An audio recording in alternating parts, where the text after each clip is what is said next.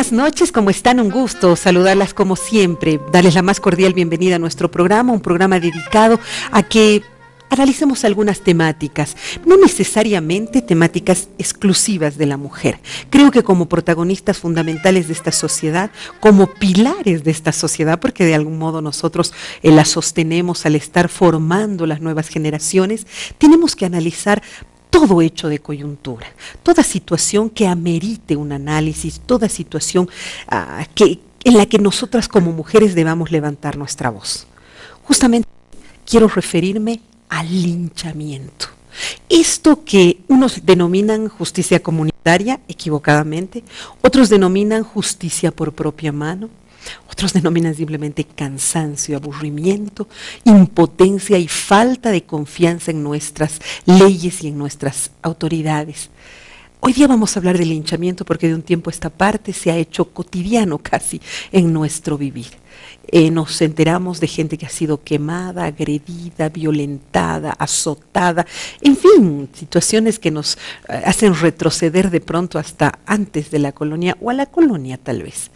Para hablar del tema estoy en compañía de grandes diosas del programa. Les doy la más eh, cordial bienvenida a todas ellas. Claudia Bravo, ella es ella es parte de lo que es la autonomía. Ella es eh, una mujer que está representándonos acá en la ciudad de La Paz, así que Claudia Bravo, muy bienvenida. Mil gracias Verónica, eh, nuevamente un gusto estar acá en tu programa eh, y además hablando de estos temas que son tan importantes, realmente vemos muy pocos espacios, como habíamos comentado anteriormente, donde las mujeres podamos hablar de temas de coyuntura. Se nos limita un poco, y es justo de lo que estábamos hablando fuera de cámaras, el machismo que todavía predomina en nuestra sociedad, se nos limita a hablar de temas más sociales, más referidos no al tema de género. Sin embargo, creo que estamos en este momento las mujeres eh, realmente capacitadas y además ejerciendo lugares ¿no? en los que podemos influir con visión de género para, para resolver algunos problemas. Entonces, encantada y estamos aquí dispuestos a Gracias por estar con nosotros. Bueno, y la ley también está con nosotros, Valquiria Lira, que es una asesora eterna de nuestro programa en cuanto se refiere a temas legales. Bienvenida, Valquiria. Gracias, Berito. Un gusto a todas y bueno, aquí como siempre para enriquecerme intelectualmente y para intercambiar ideas con todos. Y que nos orientes también un poquito porque tema nos falta mucha orientación. Miriam Saavedra, eh, comunicadora social, una amiga de siempre conocida, ella, eh, una mujer que ha estado mucho tiempo trabajando en noticieros y conociendo de cerca la noticia, quien de repente nos dará hoy día inclusive un poquito del antecedente de todo, de todo que es linchamiento. Bienvenida, gracias Para por estar Para mí un honor, Verónica, compartir este espacio contigo, con las diosas y la familia boliviana. Y de la misma manera le damos la cordial bienvenida por primera vez en nuestro programa. Ella es concejal de la ciudad del Alto y no podía ser más eh, ideal tenerla en esta ocasión porque es en el Alto donde se han presentado varios linchamientos. Le doy la más cordial bienvenida. Marina Murillo, bienvenida. Marina, gracias por estar con nosotras. La agradecida soy yo. Perdón, Berito, por la invitación a este tu programa. Realmente es un tema que preocupa bastante en la ciudad del Alto, especialmente el tema de linchamientos, el tema de inseguridad ciudadana, y las mujeres más que todo estamos preocupadas por este tema, ¿no? Y es bueno analizar las causas por las que se da el tema de inseguridad ciudadana, es por eso que quiero agradecerte por la invitación, de esta manera poder hacer conocer también el cómo se está trabajando en el Consejo Municipal y qué políticas públicas de este municipio del Alto se están tratando de hacer. Y bueno, voy a partir contigo, eh, y todos podemos aportar en la medida en que veamos que es necesario porque es efectivamente el alto el lugar donde se presentan más estos casos. De pronto nos enteramos que en alguna de las villas salteñas ha sido quemada una persona, azotada, en fin, acciones que toman los, eh, las personas afectadas que hasta el momento nos dejan a nosotros sorprendidos. Eh, ¿Cómo lo ves un poco en cuanto a antecedentes? ¿Se daba esto? Tú eres alteña, Yo ¿no es cierto? alteña. ¿Se daba esto antes? ¿Cómo lo ves un poco en antecedentes primero? Bueno, antiguamente o antes no se daba tanto, ¿no? Este tema de la inseguridad ciudadana. Yo cuando era niña no me acuerdo el tema de cuando nuestras mamás habla- no hablaban de inseguridad ciudadana, más bien creo que estaban más protegidas por la policía. Sin embargo, de, de un tiempo a esta parte ya vemos con mucha preocupación lo que está sucediendo en la ciudad del Alto. Yo creo que haciendo un análisis, como tú dices, Berito, antecedentes, tendríamos que recordar ¿no? mucho más atrás, ver el tema de desempleo, ver el tema de tal vez el descuido de los padres, la falta de comunicación con los hijos. Son muchos factores que pueden incidir en esta inseguridad ciudadana. El tema de falta de recursos, de falta de más policías en la ciudad del Alto. Yo tengo aquí un estudio de de la Dirección Munici- Municipal de Seguridad Ciudadana, que nos hace conocer con datos muy preocupantes. ¿no? En la policía tenemos con- contamos con 2.566 policías, para casi un millón de habitantes. Del Alto me estás Del hablando, Alto de la ya. ciudad. Solamente tenemos 2.566 policías. Haciendo un cálculo, tendríamos como 356 habitantes por policía. Entonces son esos temas que tendríamos que analizar, Vero, y estamos aquí todas las mujeres para tal vez aportar en este tema, ¿no? Como lo decía más antes, eh, yo creo que la falta de empleo es pues principal en la ciudad del Alto para que se dé el tema de inseguridad ciudadana. En la ceja mismo vemos, antes no había tantos bares, yo me acuerdo que era una ciudad tranquila, pero ahora vemos la ceja del Alto, la 12 de octubre, están pues los bares, eh, los, eh, se podría decir eh, los nightclubs también, o sea, abunda Sí, tremendamente. pero ahí yo me, me voy a poner un poquito de pronto en contra de ese concepto de que es por falta de trabajo, porque ahí estaríamos de pronto criminalizando la pobreza, ¿no? Porque si hay tantos bares, entonces debe haber no más trabajo, pues, ¿no? Porque si hay para beber, entonces no debe, eh, lo que, eh, es que son, sí, muchas aristas en este tema, y yo siempre soy enemiga de criminalizar la pobreza. Hay gente muy pobre, pero muy honesta, incapaz de, eh, de, eh, de agredir, incapaz de robar, incapaz, aunque esté pasando la pobreza más grande, pero sí tiene muchas aristas y tenemos que analizarla. Hay bares y cantinas. Me han contado que en el Alto hay inclusive lugares donde entras y es la- el La karaoke, luego la discoteca y más adentro es el alojamiento, en el tercer patio más o menos. Algo increíble, lo que significa que es una cadena de, de- de- de situaciones que llevan pues a los extremos más álgidos. ¿Qué te parece, Miriam? Tú has cubierto noticias, tú cubrías eh, el año, los años que te tocaban, cubrías linchamientos, se daban linchamientos. No, no se daban con, eh, con los índices que nos demuestran actualmente, pero a mí me gustaría partir eh, especificando de que un linchamiento es la ejecución de un proceso, o sea, más bien es la ejecución sin proceso de un reo o de un supuesto delincuente por una multitud, ¿no? Debido a diferentes factores. Linchan por, por, un, eh, por un hecho que puede ser delito, y que es eh, rechazado por la sociedad, por la comunidad.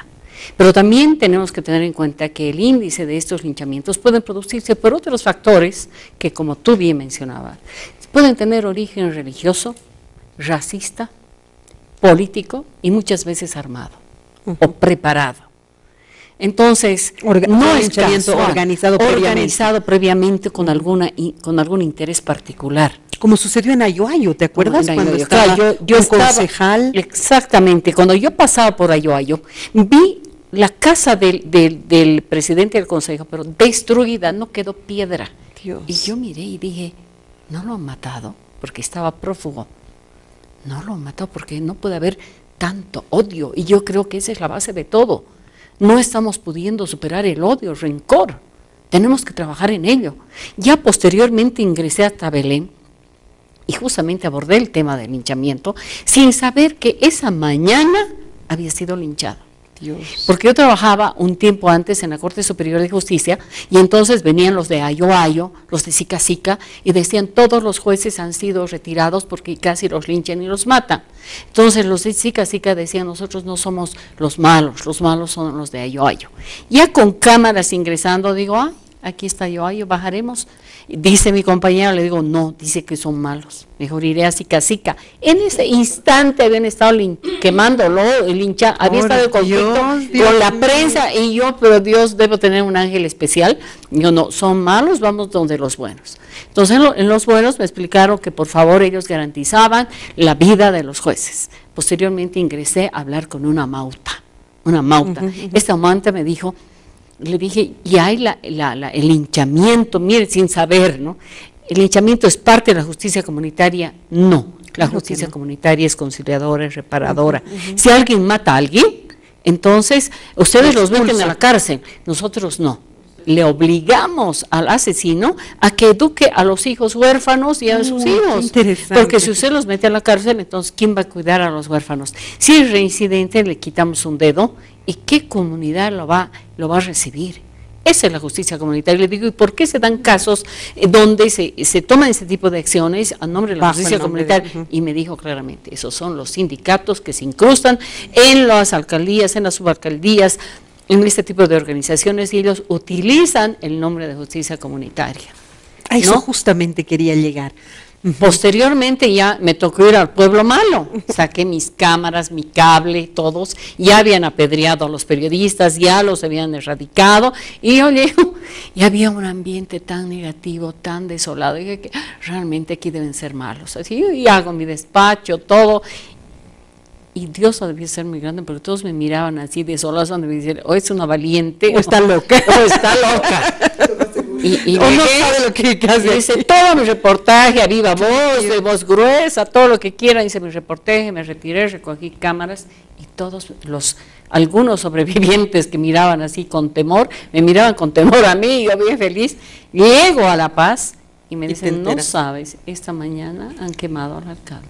Y nadie decía nada ya. No, claro, yo ya en Sicacica vi que la gente estaba en estado de ebriedad ¿no? ser testigo. Y en Ayoayo era, era un vacío total, claro, ya habían cometido el delito, porque para mí el linchamiento no tiene, es, está al margen, al margen de la ley. Ahora, justo yo quería llegar a eso, porque desafortunadamente, y no sé, cómo dices, pueden ser los sindicatos, puede ser la ignorancia también, pero les encanta decir que es justicia comunitaria. Es más, mis colegas de algunos medios de comunicación llaman, le han hecho justicia comunitaria. En algún posgrado yo he estudiado la justicia comunitaria y es más bien lo que en Europa están empezando a aplicar, que es una justicia mediadora, como tú dices, muy concertadora, todo aquello. Valquiria, ¿qué dices tú al respecto? Bueno, los linchamientos están tipificados en el código como delito, ¿no? Delito. En, el, en realidad el linchamiento es una subfase o subclase de lo que puede ser un delito en horda o en un grupo de gente. Ya. Y se denomina, hay un delito que está denominado como instigación pública de delinquir. Entonces hay un grupo de gente que conoce de algún hecho, se pone airoso, se indigna, por cualquier situación y entonces hay una voz que dice lo mataremos, lo pegaremos, lo quemaremos. Bajo el anonimato. Hay siempre, uno, siempre hay un instigador, ¿no? En la teoría del delito, uno que eh, hace que las personas le hagan caso, como dijo Miriam, los sindicatos agrarios, eh, los políticos, ¿no? las juntas vecinales dicen, no, ya estamos más, lo mataremos, la policía. Y en estos últimos tiempos el linchamiento se da por una inoperancia de la ley. y si tú te fijas en un análisis, se da a partir de la promulgación del nuevo procedimiento penal que está vigente. Las leyes Blackman, ¿no? ¿Por qué? Porque el, delincuente hasta hace unos meses tenía todas las garantías en, el, en la justicia en, el Poder Judicial, ¿no? Inclusive a partir de este último asesinato de estos periodistas, siguen habiendo, tú entras y la policía eh, no todavía tiene un personal eh, consciente, ¿no? Te dicen, no, tiene que hacer memorial. Entonces la gente que va a la víctima, mi celular, mi cartera, quiere ahorita una solución. O por lo menos una respuesta inmediata, porque no vas a recuperar tu propiedad o al muerto o al herido. Entonces, eh, las juntas vecinales eh, si tú ves en las calles, han puesto muñecos. Sí. Vamos a ir al alto. A ver, espera un ratito, estás yendo muy rápido. Sí. Me dices que si te roban un celular y tú vas a denunciar, te en- piden un memorial. Sí. O sea, tienes que ir donde un abogado, Sí. pedirle que te haga un memorial, No, que donde Sí. escribas todo.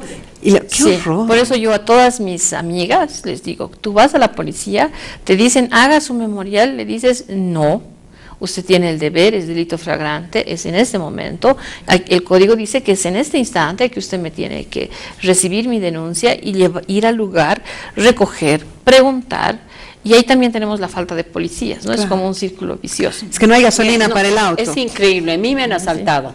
Tomé la nota, el- el- el- la placa del auto. Tardé un segundo en llamar a la policía y digo, si ustedes vienen en este momento los detenemos. Tengo el número de la placa. La denuncia es personal.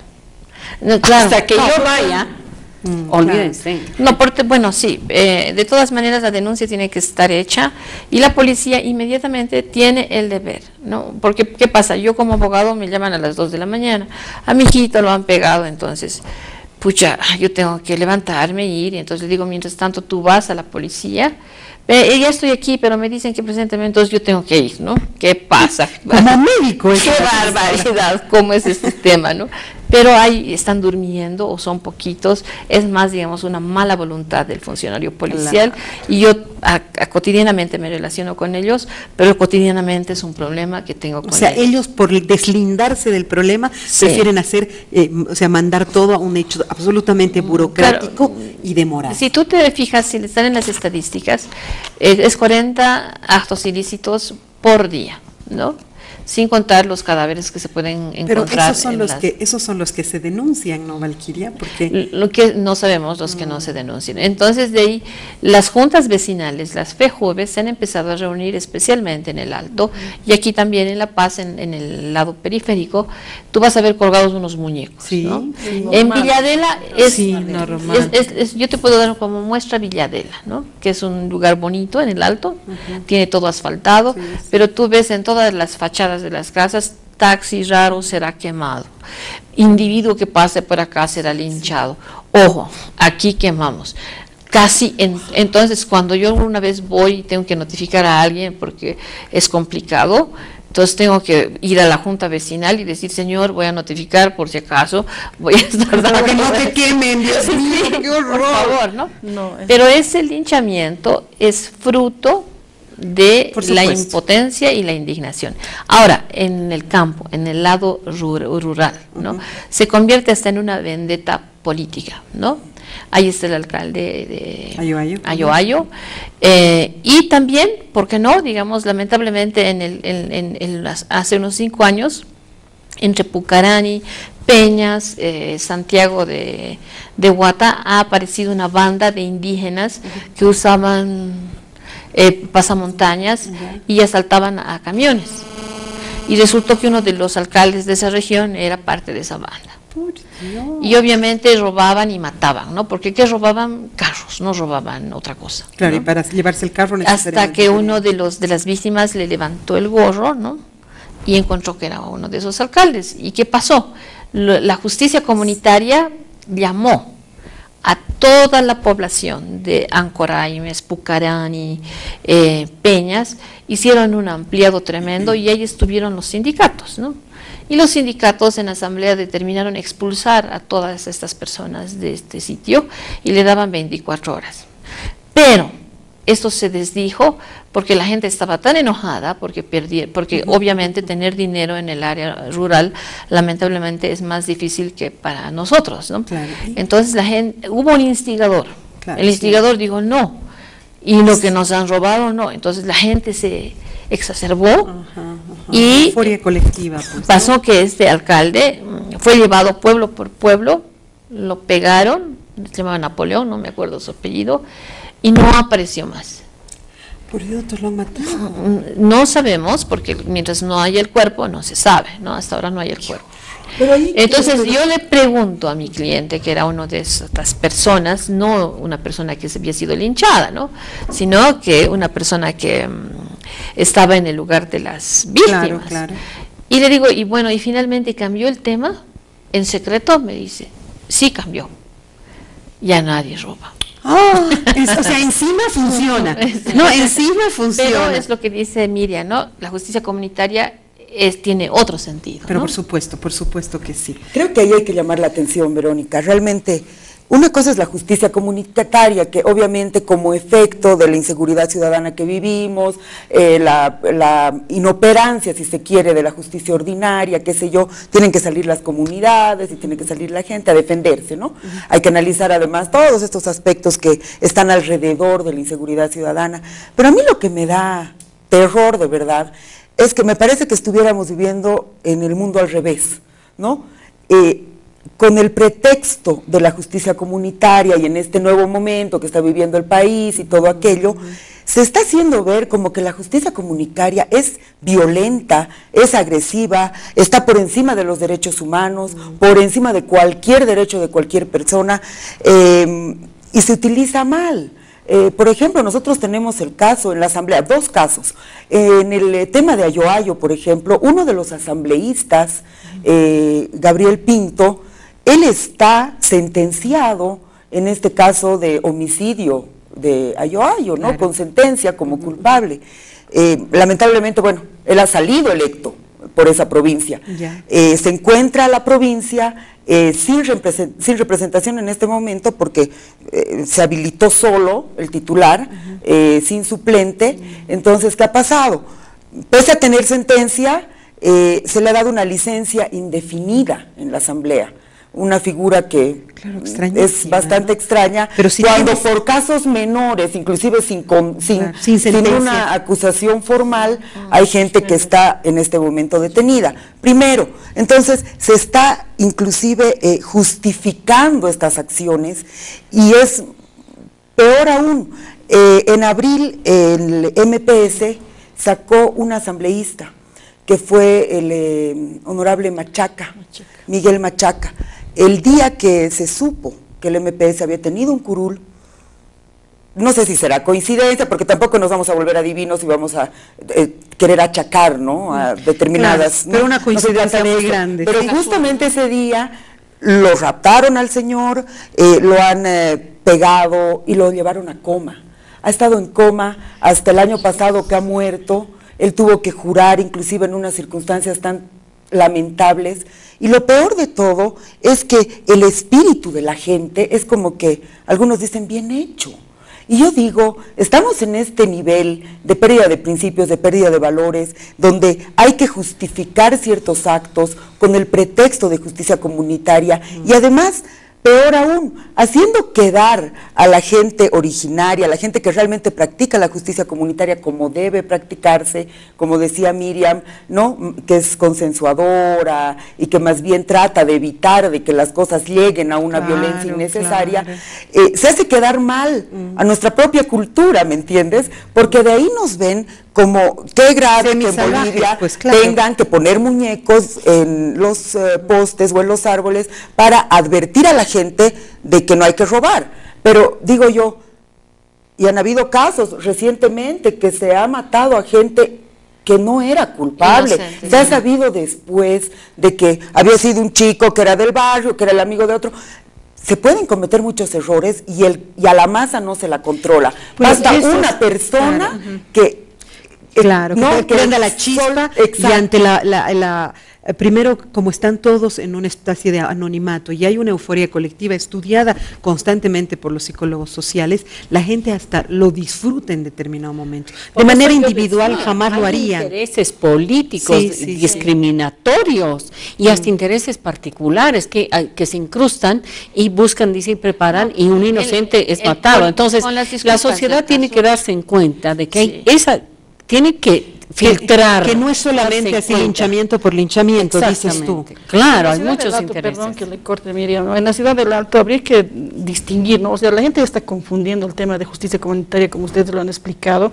Es más, eh, en las provincias se daban eso, pero en el Alto están confundiendo. Es normal ver muñecos ahí, eh, mm, letreros que dicen, ¿no? Otro sospechoso será quemado o personas sospechosas. Es en los 14 distritos que se ven, no solamente en Villadela, es a nivel general en la ciudad del Alto. O sea, yo creo que eso están confundiendo a la gente, ¿no? Justicia comunitaria. Simplemente se han organizado los vecinos ven algo sospechoso, sacan sus, sus silbatos, que eh, sus pitos, entonces eh, salen todos, lo agarran y ya lo quieren linchar. Entonces son cinco, creo, linchamientos que se han dado en la ciudad del Alto por el tema de, que han entrado a robar. Yo le voy a contar una experiencia cuando era presidente de la zona, vivo en la 16 de julio. Me llamaron, ¿no? vinieron a mi casa los vecinos y los agarraron a los eh, que supuestamente estaban entrando con escalera a la casa, los quisieron linchar. Eran bebedores consuetudinarios, una mujer esperando familia, eh, lo que los querían sonar, y los llevamos, más bien llegó el 110, porque rara vez viene el 110, yo le digo, llamamos y no, no viene, ¿no? Pero esa vez vino, entonces los llevamos a la fiscalía y ahí el fiscal, ¿no? Al día siguiente decía, pero pobrecitos, mírenlos, ¿qué van a hacer? ¿Quiénes van a venir a reclamar? No, es que no, no podemos hacer nada. Y los libraron, los, los sacaron. Entonces, yo creo que es una falta de, de autoridad, no tenemos policías ahí, no tenemos, eh, el Estado tiene un vacío muy grande. Y aunque la policía los agarra, inmediatamente ya en la fiscalía los Los, los libera. Lo que sucede es que el Ministerio de Justicia, eh, me imagino que debe estar trabajando, pero no vemos los, pobladores, ¿no? no hemos visto los resultados. Pero el Ministerio de Justicia tiene que hacer una diferenciación entre lo que es justicia comunitaria y lo que es eh, el linchamiento, ¿no? Antes de este gobierno, me parece que en el gobierno de Mesa, habían unos avisos en, todos los idiomas, diferenciando lo que era la justicia comunitaria del linchamiento, ¿no? Pero además también ya había un programa de que, eh, de que tenía que juntarse junta vecinal, policía, alcaldía, para tener una caseta de seguridad en cada barrio, que en algunos barrios todavía, existen y en otros y hasta las están terminando de construir. Y en otras han desaparecido. Entonces, eh, obviamente con las autonomías, Ahora la, comuna tiene unos deberes, la prefectura otros deberes y el gobierno central parece que ninguno. Pero yo hablo de mi experiencia, ¿no? Claro, claro. Entonces me parece que estamos yendo adelante, pero es el Ministerio de Justicia que tiene que empezar a eh, dar eh, unos spots, ¿no? ¿Qué es justicia comunitaria? ¿Qué tienes que hacer? Y también eh, tiene que volver lo que se truncó ese tiempo, me imagino porque tienen que, eh, todo, todo el mundo tiene que habituarse a su trabajo, ¿no? Pero el linchamiento tiene cárcel y si es homicidio, 30 años. Pero eh, nunca se identifica quién ha sido el linchador, porque en ese todos somos una parte de una masa, nadie acusa al otro. No, hay un instigador. Pero claro, hay un instigador. Ni siempre es hay el uno que, de la Junta Vecinal. Ya, pero hay un instigador. no, pues. Pero hay un pacto de silencio. correcto, hay un pacto de silencio. Pero además, ¿cuál es, el, ¿cuál es el cargo al instigador y cuál es el cargo al que ha ejecutado el, asesinato? Eh, depende. Porque uno sería eh, todo el intelectual, digamos, el, y el otro instigador es, el, el, que señala, el que agita a la gente para cometer un delito. Pero ¿qué, qué, en el caso del asesinato, el cómplice recibe el mismo castigo que el autor, ¿no? Además ya no hay los coautores, ¿no? Eh, que sin la participación de uno no hubiera podido pasar cualquier crimen, ¿no? O sea, ambos llevan la misma, la misma, pena, ¿no? A este veces la comunidad sería cómplice, ¿no? Sí, sí. El tema es que, no podemos llenar de las, cárceles de los ciudadanos. Tenemos que llenar las calles de policías. Ahora, yo quisiera que en este, eh, en este tema deberíamos ponernos un poquito también en los zapatos de las víctimas y de la sociedad. Ustedes han visto es recurrente en los medios de comunicación que dicen, por favor, manténnos policías, por favor, ya no damos, nuestros hijos están siendo ahorcados, asesinados. Entonces, se está viendo que no el ciudadano no tiene eh, las garantías suficientes para su mínima sobrevivencia. Entonces yo creo que es fundamental que se debe luchar para que se prime el interés público, para que se fortalezca el poder del Estado en la persecución penal y se brinde al ciudadano garantías. No se lo puede dejar en el abandono y en la inseguridad. Ellos han alertado, dicho, no vamos a linchar aquí, vamos a matar y estamos todos armados. Y con relación a los muñecos me parece excelente idea como advertencia tantos países fuera del país ponen unas, no un muñeco, sino un círculo que dice zona vigilada. Digamos, ¿no? Y es el mismo muñeco, no el hinchamiento, pero algo tienen que hacer, son reacciones para su defensa de la, de la propia ciudadanía. ahí voy a hacer una pausa, espérenme por favor, me, me, exigen que haga un corte, unos minutos, porque primero hay que cumplir con los auspiciadores y segundo, porque quiero dejar ahí pendiente el tema, porque muchas veces, eh, una vez que han soltado a los... Eh, eh, a los delincuentes, estos han regresado para tomar verganza. Así que enseguida regresamos con ese tema.